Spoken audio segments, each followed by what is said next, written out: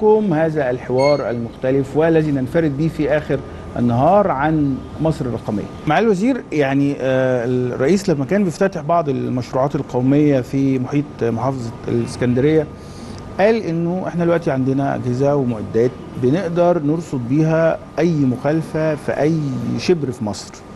والحقيقة آه، ملف ال- المخالفات مخالفات البنى على الأراضي الزراعية أو اراضي الدولة أو بدون ترخيص آه، عامل قلق شديد جدا ما بين آه، إجراءات واضحة وصارمة وحاسمة ويبدو إنه آه، إرادة الدولة ونيتها إنه الملف ده ينتهي. وبين إنه بعض الناس عندها شوية مشاكل يقول لك ما إحنا بنينا زمان طب إحنا نعمل إيه؟ الملف ده واصلين فيه لحد فين؟ وغير واصلين فيه لحد فين؟ هل إحنا ممكن نوصل في مصر للحظة تنتهي فيها ظاهرة التعدي على أراضي الدولة دي؟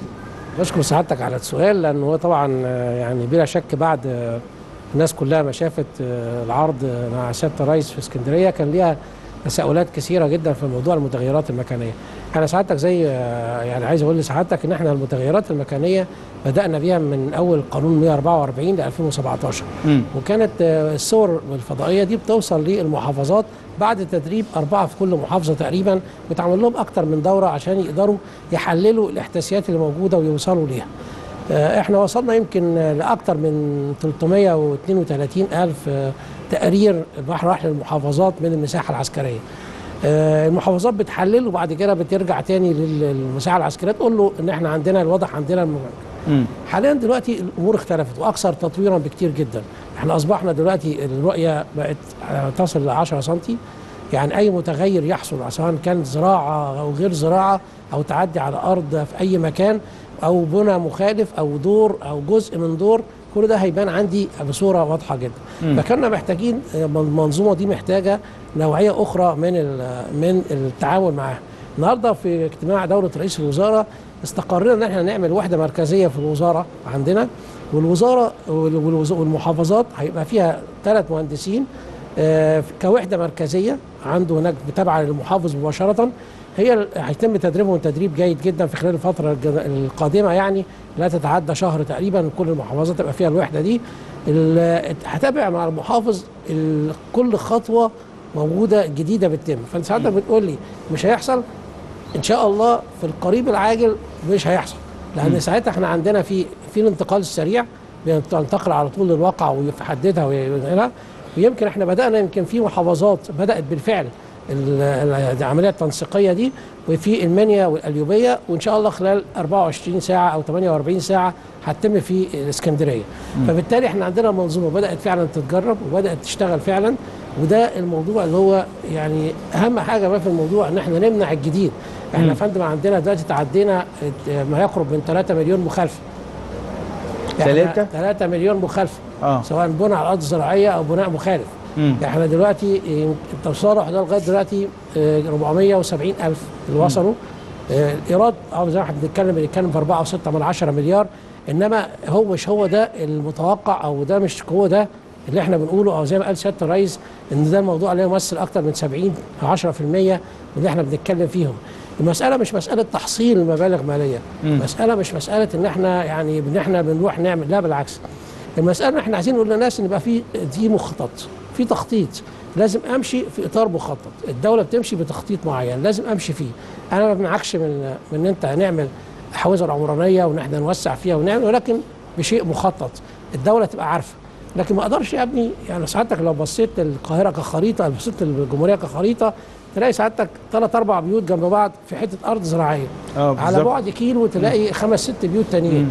طب يا فندم الناس دي هوصلها إزاي؟ خدمات إزاي؟ آه. ما عنديش مرافق أوصلها إزاي. موضوع صعب جدا ان إحنا بنتكلم فيه فيبقى لازم واضح. أنا ما عنديش استعداد لخطوة زيادة ملي زيادة. يعني يا فندم برضو عشان الناس لأن الناس الناس دلوقتي بتقول إيه الدولة وقفت البنى ومش عاوزيننا نبني. تمام. أنت الدولة ضد البناء العشوائي مش البناء. تمام. أنا يا فندم قرار إيقاف البناء ده تم لثلاث محافظات أساسية وبعض وعواصم بقية المحافظات والمدن المكتظه اللي فيها مخالفات كتير. آه. إحنا وقفنا البناء ده لسبب واحد يا فندم. إحنا المحافظات دي إحنا بنعمل لها آه، اشتراطات بنائية جديدة بننسق مع الجامعات ونشوف الاشتراطات البنائية الموجوده فيها إحنا عندنا في أماكن ممكن ما يبقاش فيها بنى تاني خلاص مش خلاص،. آه. الموضوع انتهى في في جزء ثالث في جزء اخر ممكن أبني فيه دور أو دورين أو ثلاثة على حسب مخطط الإنشاء والشروط الإنشائية اللي هتنزلها من خلال الجامعات والدراسة اللي هتتم طبقا الإجراءات المرورية. يعني لو ادينا مثال بسيط مثلا يا فندم زي ما إحنا ست رئيس ادى مثال مثلا شرق القاهرة. شرق القاهرة بعد ما عملنا المحاور المرورية دي كلها الناس رجعت برضه تركن في في الشوارع الرئيسية آه. وتعمل الكلام ده وبالتالي إحنا ده اجراء مروري يبقى لازم في في هنا مخالفات تمت لازم اصلحها عشان يبقى الشكل العام اللي أنا بنشده وصرفت فيه فلوس وزي ما قال سياده الرئيس بنصرف فيه 350 مليار عشان اصلح جزء في القاهرة شرق القاهرة لابد ان أنا أعمله بشكل مخطط وبشكل جيد فالتخطيط جزء مهم جدا إن أنا من العشوائيات ال- الدور لو الأدوار مثلا في مدينة نصر تلاقي الأدوار عدت 18 دور و 17 دور هل هو مرخص ليه 17 دور؟ لا لا يمكن طبعا آه. لأن الشارع كله هو 8 متر بالظبط. لو قلنا مرة ونص زي ما بيقول وصل 12 متر 15 متر مم. يعني بتتكلم في خمس ست عمره ادوار هيصل في 40 متر و 35 آه، متر آه. طب يا فندم لما حصل أزمة السيول دلوقتي والناس زعلت جدا إن الميه عملت. طب ما شيء جدا طبيعي إن الاستيعاب المرافق اللي موجودة ما تستحملش ال ال ال 25 دور وال 18 دور فبالتالي حصل ضغط على المرافق في مع كمية الميه مش متوقعة فاضطرت الميه تطلع. بدأت الناس تقول يا الدولة سايبانا وبتاع. طب أنت يبقى إحنا بنمنع عشان أنظم. مم. أنا بمنع مش بمنع عشان خاطر أوقف حاجة. لأ ده أنا مشغل كمان كل المشروعات المخططة والقومية وال- والمطورين العقاريين طالما واخد ترخيص وواخد بشكل معين ومخطط وعامل حسابه في الجراشات والمساحات اللي بيبني فيها أنا بسمح له دلوقتي يبني. مم. أنا بوقف دلوقتي إيه؟